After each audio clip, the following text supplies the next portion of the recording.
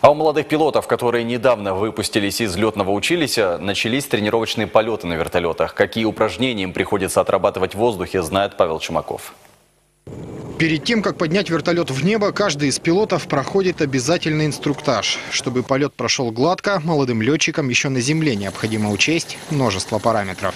Перед полетом рассчитай э, взлетную массу вертолета. Также выполни расчеты средней скорости по маршруту. Стать летчиком Максим мечтал еще с детства, причем именно пилотом вертолета. Пять лет обучения пролетели как один миг. И вот теперь уже лейтенант Бабурин допущен до управления настоящей машиной. Уже выполняем свои, лично свои обязанности, а не выполняем обязанности курсанта в качестве летчика штурмана.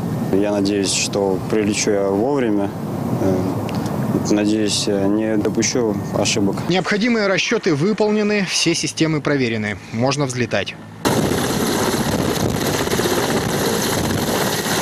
Взлет, зависание в воздухе, а также посадка являются одними из самых сложных элементов для молодых пилотов. В течение пяти лет они отрабатывали их лишь на тренажерах в высшем учебном заведении. Вот теперь им предстоит все это выполнить на практике. Впрочем, летать на вертолете курсантам приходилось и во время учебы. Но там машиной в основном управлял инструктор. Здесь же контролировать весь полет приходится уже самим.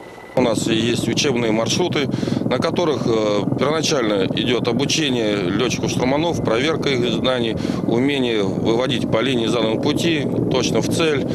Э, Дальнейшая подготовка идет э, именно для командировок, чтобы выполнять какие-то основные задачи по предназначению. В этом году ряды пилотов бригады армейской авиации пополнили 8 выпускников Сызранского училища. Трижды в неделю они будут выполнять тренировочные полеты на вертолетах Ми-8 и Ми-24. И уже в феврале, когда необходимая подготовка будет пройдена, их допустят к самостоятельным полетам без инструктора. Павел Чумаков, Александр Жанников, Вести Урал.